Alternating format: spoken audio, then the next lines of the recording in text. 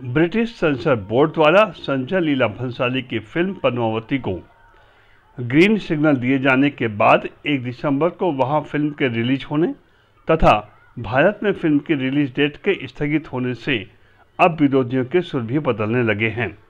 विरोध में सबसे आगे रहने वाली करणी सेना के तेवर ढीले पड़े हैं और अब उन्होंने समझौते की पहल की है।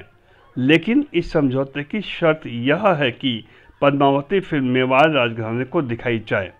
अगर वो फ़िल्म को बिना विरोध के पास कर देंगे तो करणी सेना अपना आंदोलन वापस ले लेगी। जबकि करणी सेना की पहले ये मांग थी कि पद्मावती फ़िल्म उन्हें पहले दिखाई जाए। बता दें कि राजस्थान की करणी सेना फ़िल्म के ऐलान के वक्त से ही पद्मावती का विरोध कर रही है। करणी सेना द्वारा फ़िल्म के विरोध का कारण यह बताया जा रहा है कि अलाउद्दीन खिलजी और पद्मावती के बीच एक ड्रीम सीक्वेंस में प्रेम प्रसंग फिल्माया गया है, जबकि भंसाली का कहना है कि ऐसा कोई सीन फिल्माया नहीं गया है और न ही ऐसा कोई सीन फ़िल्म में है, जिससे राजपूतों के मान सम्मान को ठेस पहुँचे। पीएनएस न्यूज़ की रिपोर्ट।